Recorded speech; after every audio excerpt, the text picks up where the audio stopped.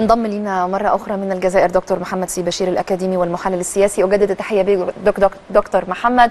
وكان سؤالي ليك دكتور بأن الجزائر الآن يعني لا زالت الأمور تحتاج للكثير من الضبط والاتزان.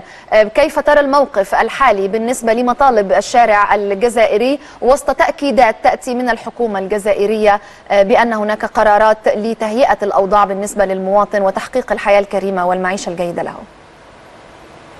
مساء الخير سيدتي مساء الخير يا دكتور. المصريين.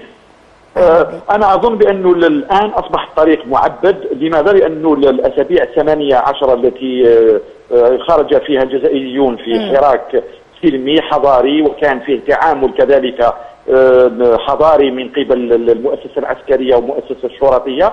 هذا أدى إلى أن الحراك ينضج سواء من من خلال مبادرات تأتي من المؤسسة العسكرية أو من خلال مبادرات الحراك نعم. وصلنا إلى تقاطع نقاط واتفاق على بعض الأمور خاصة الحوار التفاوض التسوية والتنازلات بشأن مسار الانتخابات ثم التوافق على أن الطريق يجب أن يأتي عبر مؤسسات دستورية شرعية ثم بعد أن يأتي الرئيس نقوم بتنظيم ندوة جامعة ممكن أن يخرج منها مشروع لطبيعة النظام السياسي المستقبلي وكذلك مشروع لجزائر المستقبل اقتصاديا سياسيا أمنيا واجتماعيا.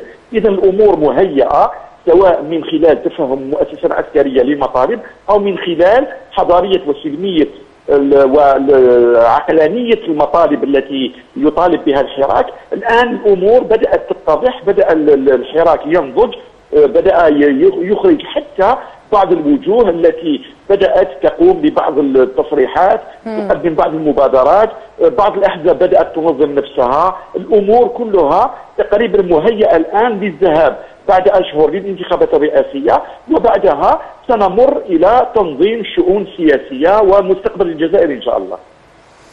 إن شاء الله يعني يتم تحقيق كافة المطالب للشارع الجزائري والاستقرار والسلام للجزائر. دكتور محمد سي بشير الأكاديمي والمحلل السياسي شكرا جزيلا على وجودك معنا عبر هذا الاتصال الهاتفي من الجزائر.